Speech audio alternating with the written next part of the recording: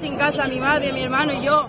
El agua nos llegó a un metro noventa en casa, nos hemos quedado sin nada, no nos avisaron. Cuando llegó la, cuando llegó la alerta en casa teníamos el agua por, los, por las rodillas, no nos avisaron, tuvimos que subir con mis sobrinos al tejado y con una sábana a saltar, porque se nos caía la casa.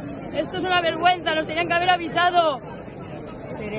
Tenéis que estar aquí para reivindicar. Tenemos que estar aquí para reivindicar a toda la gente que ha perdido a sus familiares, toda la gente que hay desaparecidos. Es mentira todo lo que dicen, hay mucha gente desaparecida y si hubiesen venido el segundo día a ayudarnos, mucha gente se hubiese salvado. Hasta el quinto día no ha venido nadie. Nosotros nos han ayudado bomberos de Málaga y de Canarias, no ha venido nadie de Valencia. Nosotros ayudando a los vecinos, nadie ha venido a ayudarnos, nadie.